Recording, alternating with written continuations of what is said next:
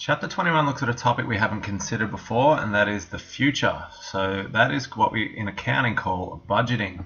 So we have a need for budgeting because when you look at all the reports we've made, so we can see an income statement and a cash flow statement on the screen, they're actually always prepared for the year ended, uh, as in they are actually summarizing events that have already happened.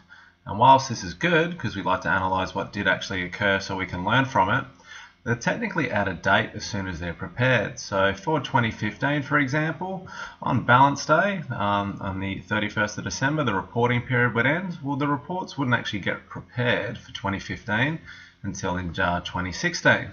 And the income statement, the cash flow statement, and the balance sheet are actually out of date the minute they're published.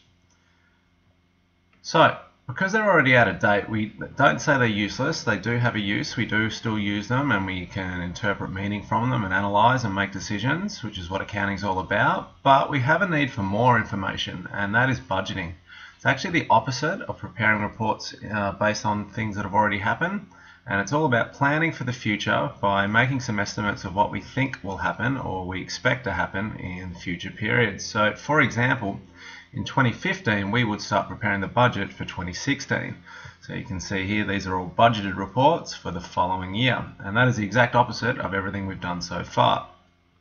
And when we sort of go back to some theory, we can see why we should and shouldn't do this. So the qualitative characteristic of relevance says that budgeting is very relevant because it enables us to plan and make decisions about the future. For example, if we think we're going to run out of money next period, we can start to take some measures now to save money or maybe get some more. However, this is very unreliable. It totally breaches the qualitative characteristic of reliable because we are making guesses and estimates about every single number in that budget.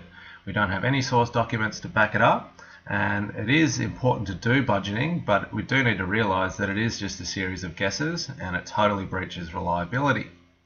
You can see this in a reasonably recent case study about Bris Connections, which is a toll road in Queensland. Similar to CityLink here in Melbourne, drivers would drive on it and get charged a toll, and Bris Connections was the company that operated that toll road. So they did a budget, and we can see it's actually the green bar chart here. So these charts here, for example, is what they forecast what would happen.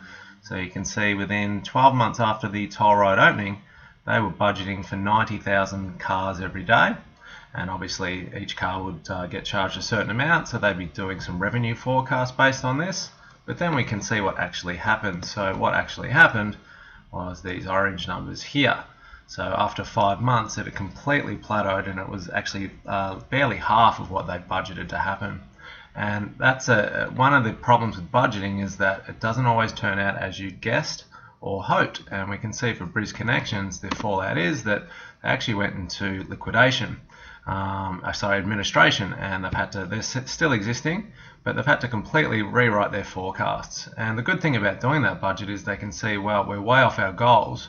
How can we now go about fixing it? And that's the one good thing about a budget. We have something to aim for, and if we don't achieve it, we can look at ways to fix it. In VCE accounting, it's quite simple. What do I need to budget for? You've only got a budget for three things. You've got a budget for the income statement, the cash flow statement, and the balance sheet and that's it it could just be a part of one could be all of one um, but they're the three things that you need to be able to budget for for future periods